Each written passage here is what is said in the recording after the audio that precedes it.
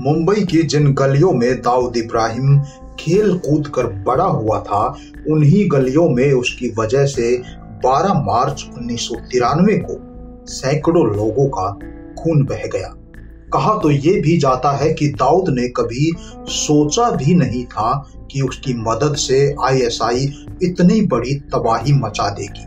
उस काले दिन की तबाही देख खुद दाऊद भी दहल गया था। इस भारी तबाही के बाद दाऊद ने चाहे जो भी सोचा हो, लेकिन अब उन्हीं गलियों में रहने वाले उसके अपने ही लोग उसे गद्दार बोल रहे थे। उसके कुछ लोगों ने तो फ़ोन कर उसे काफ़ी बुरा भला भी कहा, लेकिन अब जो तबाही हो चुकी थी, उसे किसी भी तरह ठीक नहीं किया जा सकता था। एक तरफ़ दाऊद को गद्दार बोला जा रहा था, दूसरी तरफ़ छोटा राजन न्यूज़पेपर्स को फैक्स के ज़रिए अपनी सफ़ाई देकर दाऊद का बचाव कर रहा था। इसी दौरान दाऊद के कुछ चाहने वालों ने उसे सलाह दी कि उसे कोर्ट में इस केस का सामना कर अपना बचाव करना चाहिए। इसलिए दाऊद ने मुंबई पुलिस में अपने कॉन्टेक्ट का इस्तेमाल कर ये पता लगाया कि उसके ऊपर क्या आरोप है और उसके खिलाफ इस केस में क्या सबूत है। दाऊद को पता चला कि काफ़ी भाग दौड़ करने के बाद भी मुंबई पुलिस के पास सबूत के नाम पर टाडा एक्ट के अंदर सिर्फ़ दो कन्फेशनल स्टेटमेंट है। दाऊद को लगा कि उसके खिलाफ इस केस में कोई मज़बूत आधार नहीं है, वो आसानी से बच सकता है। ये विचार दिमाग में आते ही उसने भारत में सरेंडर करने का प्लान बना लिया और इस काम के लिए कांटेक्ट किया भारत के फ़ेमस वकील राम जेठ मलानी से।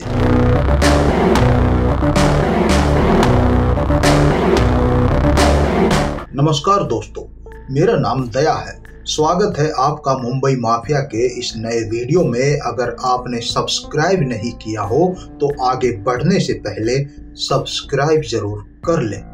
दाऊद सरेंडर तो करना चाहता था, लेकिन अपनी शर्तों पर। उसने शर्तें रखी कि मुंबई कांड के अलावा उसके सारे केस रोक कर दिए जाएँ और जब तक कोर्ट में केस चले, तब तक उसे जेल की बजाय उसके घर में ही नजरबंद रखा जाए। जब राम जेठमलानी ने भारत सरकार से इस बारे में बात की तो जवाब मिला कि भारत एक लोकतांत्रिक देश है, यहाँ पर न्यायपालिका आज़ादी से काम करती है। अगर दाऊद चाहे तो सरेंडर कर सकता है, लेकिन उसकी कोई भी शर्त नहीं मानी जाएगी। सरकार की इसी स्टेटमेंट के साथ दाऊद के भारत वापसी की संभावना भी खत्म हो गई। जैसे ही दाऊद के सरेंडर होने की संभावना खत्म हुई, कुछ नेताओं और ऑफिसरों ने राहत की सांस ली, क्योंकि दाऊद के सरेंडर होते ही वे भी मुश्किल में पड़ सकते थे। उधर दुबई में छोटा राजन और छोटा शकील के मतभेद बढ़ते जा रहे थे। इसी का नतीजा था कि डी कंपनी के अंदर दो गुट बन चुके थे। दाऊद भी राजन और शकील के इन झगड़ों से अनजान नहीं था। उसने ये झगड़ा खत्म करने के लिए गैंग की एक मीटिंग की और छोटा शकील से कहा, नाना मेरे बुरे टाइम का दोस्त है, मैं उसकी बुराई नहीं सुनना चाहता। आपस में झगड़ा, धंधे की मौत होता है। दाऊद की बात से छोटा शकील गुट के लोग खुश नहीं थे, लेकिन छोटा राजन के दिल को बहुत दिनों बाद कुछ तसल्ली मिली थी, लेकिन ये तसल्ली भी ज़्यादा दिन तक नहीं रही। छोटा शकील की तरफ़ से राजन को काफिर कहा जाने लगा और ज़रूरी मीटिंग्स में उसे बुलाना बंद कर दिया। छोटा राजन डी कंपनी से अलग होता जा रहा था, लेकिन अभी तक पूरी तरह अलग नहीं हुआ था। उसी साल वो दाऊद की बर्थडे पार्टी में भी शामिल हुआ। ये साल उन्नीस सौ तिरानवे का आखिरी महीना चल रहा था और छोटा राजन का डी कंपनी में आखिरी महीना। उसी दिसंबर के महीने में इनके फासले बढ़ते गए और साल उन्नीस आते आते दोनों गुट एक दूसरे के खून के प्यासे हो गए। इसी के साथ छोटा राजन ने डी कंपनी का काम करना बंद कर दिया और अलग अलग देशों में फैले अपने साथियों को भी डी कंपनी का काम करने से मना कर दिया। डी कंपनी में जितने भी लोग छोटा राजन के वफादार थे, उन सबने भी दाऊद का साथ छोड़ दिया। छोटा राजन अब डी कंपनी ऑफ़िस में जाने की बजाय दुबई में अपने ही घर में रहता था। वो किसी भी तरह भारत आना चाहता था, क्योंकि उसे ये अच्छी तरह पता था, अगर वो ज़्यादा दिन दुबई में रहा तो ज़िंदा नहीं बच पाएगा। लेकिन उसके सामने ये मजबूरी थी कि उसका पासपोर्ट उसके पास नहीं था।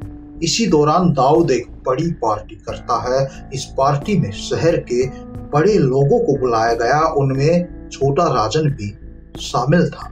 छोटा राजन पार्टी में जाने के लिए तैयार हो रहा था। तभी एक फ़ोन आता है और कहा जाता है, नाना, वो तुमको टपकाने का प्लानिंग किएला है। छोटा राजन फ़ोन रखता है और कुछ देर सोचने के बाद दुबई में इंडियन एम्बेसी पहुँच जाता है। वहाँ एक रॉ ऑफिसर से उसकी बात होती है, दिल्ली फ़ोन लगाए जाते हैं और कुछ ही घंटों के बाद छोटा राजन काठमांडू की फ़्लाइट में बैठकर काठमांडू पहुँच जाता है और फिर काठमांडू से मलेशिया। उधर दाऊद को भारत सरकार के हवाले करने का भारत सरकार का प्रेशर यूएई सरकार पर बढ़ता जा रहा था। इसी वजह से पाकिस्तान की खुफिया एजेंसी आईएसआई की टेंशन बढ़ती जा रही थी। आईएसआई को यह भी लग रहा था कि भारतीय खुफिया एजेंसियाँ दुबई में बैठे दाऊद तक कभी भी पहुँच सकती है। इसी डर के चलते आईएसआई ने उन्नीस सौ चौरानवे की एक रात दाऊद को पाकिस्तान में शिफ्ट कर दिया और उसके रहने का अरेंजमेंट कराची के पोस एरिया क्लिकटन रोड पर डिफेंस हाउसिंग अथॉरिटी की गली नंबर 30 में, बंगला नंबर सैतीस में किया गया। यहाँ भी दाऊद ने अपने बंगले का नाम व्हाइट हाउस रखा। इसी दौरान छोटा राजन खुद को, देशभक्त और दाऊद को गद्दार कहकर प्रचार करने लगा। मुंबई के लोगों की नज़र में भी अब अंडरवर्ल्ड धर्म के आधार पर दो पार्ट्स में डिवाइड हो गया। उन गवली छोटा राजन जैसे लोग अब हिंदू डॉन थे और दाऊद छोटा शकील जैसे लोग पाकिस्तान के वफादार मुस्लिम डॉन कहा जाता है कि छोटा राजन ने टी कंपनी को खत्म करने की कसम खाई थी। अब छोटा राजन खुलकर दाऊद को चैलेंज करने लगा। दोनों की लड़ाई में छोटा राजन भारी पड़ रहा था, क्योंकि दाऊद दूसरों पर डिपेंड था, लेकिन छोटा राजन खुद एक शार्प शूटर था। इसी बीच छोटा राजन को खबर मिली कि छोटा शकील उसे मारने की फिराक में है। छोटा राजन ने शकील और सुनील साउंत पर हमला करवा दिया। इस हमले में सुनील सावंत मारा गया, लेकिन छोटा शकील बच गया। इसके बाद छोटा राजन ने काठमांडू में नेपाल के एक नेता मिर्ज़ा दिलसाद बेग की हत्या भी करवाई, क्योंकि छोटा राजन को पता चल गया कि मिर्ज़ा दिलसाद बेग अपने यहाँ दाऊद के कुर्गों को पनाह देता है। उधर मुंबई में भी इन दोनों का गैंग वार शुरू हो गया। दाऊद की तरफ़ से अबू सलेम मुंबई में लीड कर रहा था और छोटा राजन की तरफ़ से रोहित वर्मा। मुंबई में अनगिनत हत्याएँ हो रही थी। इन मरने वालों में इनके गुर्गों के साथ कई बड़े बिजनेसमैन और नेता भी शामिल थे। छोटा राजन ने अपने देशभक्ति साबित करने के लिए मुंबई कांड के आरोपियों को चुन चुन कर निशाना बनाया। उसने दो साल के अंदर मुंबई कांड के 18 आरोपियों को मरवा दिया, लेकिन छोटा राजन अभी रुकने का नाम नहीं ले रहा था। साल उन्नीस सौ अट्ठानवे आ चुका था। इसी साल उसने मुंबई कांड के एक आरोपी अयूब पटेल पर हमला करवाया, लेकिन वो बच गया। इसी साल सलीम कुर्ला को एक नर्सिंग होम में मरवा डाला। दाऊद से बगावत करने वाले लोग ज़्यादा टाइम तक ज़िंदा नहीं रह पाते थे, लेकिन छोटा राजन अभी तक ज़िंदा भी था, और ना सिर्फ़ ज़िंदा था, बल्कि दाऊद से मुकाबला भी कर रहा था। इस बात पर दाऊद भी हैरान था। इसके साथ वो इस बात को भी अच्छी तरह समझता था कि छोटा राजन उसके लिए सबसे बड़ा खतरा है, क्योंकि उसे दाऊद की सारी कमजोरियाँ पता थी। इसी तरह छोटा राजन को भी दाऊद से उतना ही खतरा था। इस खतरे से बचने के लिए छोटा राजन काफ़ी लंबे टाइम तक समुद्री जहाज़ में रहा था। छोटा राजन को अपने लिए सबसे सुरक्षित ठिकाना बैंकॉक में लगा, राजन ने मोबाइल नंबर से लेकर घर के एड्रेस तक अपनी लोकेशन छिपाए रखने की हर एक कोशिश की। छोटा राजन और डी कंपनी के बीच लुका छिपी का ये खेल काफ़ी टाइम तक चलता रहा, लेकिन साल 2000 में छोटा शकील को राजन के ठिकाने का पता चल गया। छोटा राजन बार बार बचकर निकल जाता था, इसलिए अब की बार एक बड़ा हमला करने का प्लान बनाया गया ताकि उसे बचने का मौका ना मिले। इस हमले को अंजाम देने के लिए मुंबई से एक शार्प शूटर, मुन्ना झिंगड़ा को नेपाल के रास्ते कराची बुलाया गया और उसे पाकिस्तानी नागरिक बनाकर बैंकॉक में छोटा राजन के पास ही एक फ्लैट किराए पर दिलवाया गया। 14 सितंबर 2000 की रात लगभग साढ़े नौ बजे मुन्ना झिंगड़ा ने अपने कुछ लोगों के साथ छोटा राजन के फ्लैट का दरवाज़ा नॉक किया। छोटा राजन के खास रोहित वर्मा ने दरवाज़ा खोला। दरवाज़ा खुलते ही रोहित, उसकी वाइफ उसकी बेटी और एक नौकरानी को गोलियों से भून दिया गया। इस हमले में छोटा राजन को भी गोली लगी, लेकिन वो खिड़की के रास्ते भागने में कामयाब हो गया। इसके बाद मुंबई तक खबर फैल गई कि बैंकॉक में छोटा राजन को मार दिया गया। लेकिन जल्दी ही खुलासा हो गया कि वो विजय दमन नाम से स्मिति वेज हॉस्पिटल में एडमिट है। थाईलैंड पुलिस ने तीन दिन के अंदर ही मुन्ना झिंगड़ा समेत बाकी हमलावरों को भी धर दबोचा। एक दिन छोटा राजन को इंफॉर्मेशन मिलती है कि हॉस्पिटल को उड़ाने का प्लान बनाया जा रहा है। उसी रात छोटा राजन हॉस्पिटल से फरार हो जाता है। इसमें उसकी हेल्प करते हैं, उसकी वाइफ सुजाता और उसके खास आदमी संतोष सेट्टी और भरत नेपाली। जब छोटा राजन हॉस्पिटल में एडमिट हुआ तो उसकी वाइफ सुजाता मुंबई से बैंकॉक पहुँच जाती है। सुजाता के वहाँ होने की वजह से छोटा राजन पर नज़र रखने वाले सिक्योरिटी गार्ड को दूसरे कमरे में सोना पड़ा और इसी का फ़ायदा उठाकर संतोष सेट्टी और भरत नेपाली हॉस्पिटल के फोर्थ फ्लोर से खिड़की के रास्ते रस्सी के सहारे छोटा राजन को लेकर फरार हो जाते हैं। सुजाता इनसे पहले ही मुंबई के लिए रवाना हो चुकी थी। छोटा राजन उसी रात एक आर्मी की जीप से थाईलैंड से लगते कंबोडिया बॉर्डर पर पहुँचता है और वहाँ पहले से मौजूद एक हेलीकॉप्टर से कंबोडिया पहुँच जाता है।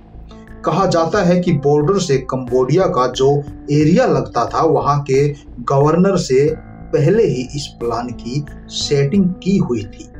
इसी साल छोटा राजन का खास दोस्त साधु सेट्टी मुंबई आया तो उसकी information encounter specialist Vijay Salaskar को मिल गई और सालस्कर ने उसे एनकाउंटर में मार दिया। छोटा राजन को डाउट था कि जिस होटल में साधु सेट्टी रुकने वाला था, उस होटल के मालिक दिनेश सेट्टी ने ये इंफॉर्मेशन पुलिस को दी थी। इसलिए छोटा राजन ने दिनेश सेट्टी को मरवा दिया, लेकिन बाद में पता चला कि दुबई में बैठे शरद शेट्टी ने ये इंफॉर्मेशन सालस्कर तक पहुंचाई थी। छोटा राजन अपनी कसम को पूरी करने की कोशिशें बंद नहीं करता और साल 2001 आते आते छोटा शकील के दो कुर्कों को और मरवा देता है। साल 2002 में छोटा राजन एक बार फिर पुलिस की गिरफ्त में आता है। लंदन में प्लेन में चढ़ने के दौरान पुलिस उसे गिरफ़्तार कर लेती है और सिंगापुर भेज देती है। लेकिन वो यहाँ से भी भाग निकलता है। इसके बाद वो कहाँ गया, किसी को कुछ नहीं पता चला। 2002 में ही अबू सलेम और मोनिका बेदी को पुर्तगाल में गैर कानूनी रूप से दाखिल होने की वजह से अरेस्ट कर लिया गया। साधु शेट्टी की मौत का और अपने ऊपर हुए हमले का बदला लेने के लिए छोटा राजन ने 19 जनवरी 2003 को दाऊद का फाइनेंस देखने वाले छोटा शकील के खास दोस्त शरद शेट्टी को छोटा राजन के शूटरों ने दुबई के एक क्लब में खुलेआम मार दिया। ये डी कंपनी पर एक बहुत बड़ा हमला था। छोटा शकील ने छोटा राजन को मरवाने की कई कोशिशें की, लेकिन वो हर बार बच के निकल गया। कुछ रिपोर्ट्स ये संभावना भी बताती हैं कि इस दौरान छोटा राजन की मदद भारतीय खुफिया एजेंसियाँ कर रही थी।